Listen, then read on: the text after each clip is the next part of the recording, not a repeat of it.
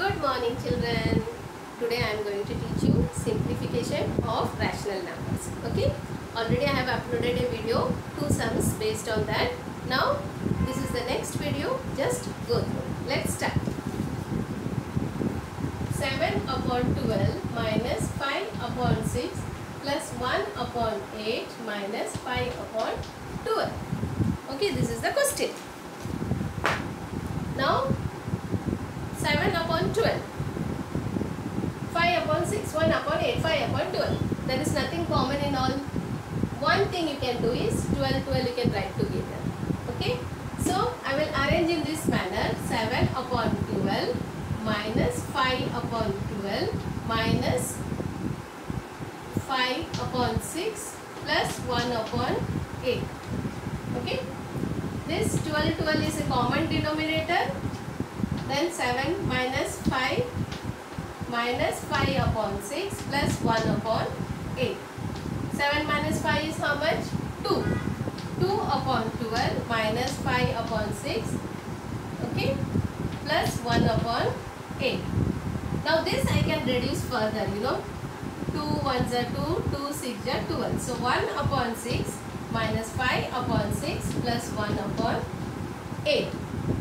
Now this common 1 minus 5 upon 6 plus 1 upon 8. So 1 minus 5 is how much? Minus 4 upon 6 plus 1 upon 8. Am I correct? Yes. Understood? See this I can reduce further. 2 2s are 2 3s are. So minus 2 upon 3 plus 1 upon 8.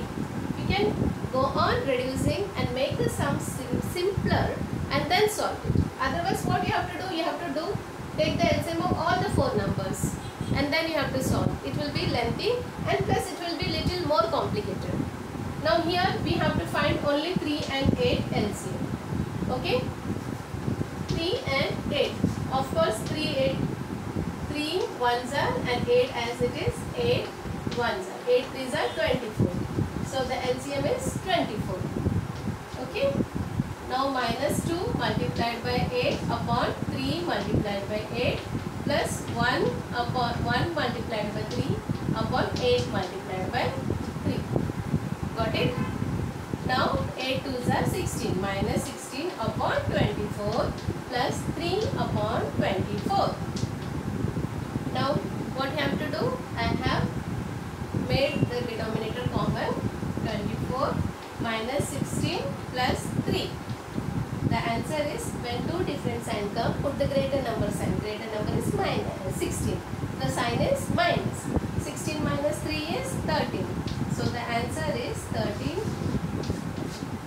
upon 24. Right? Got it?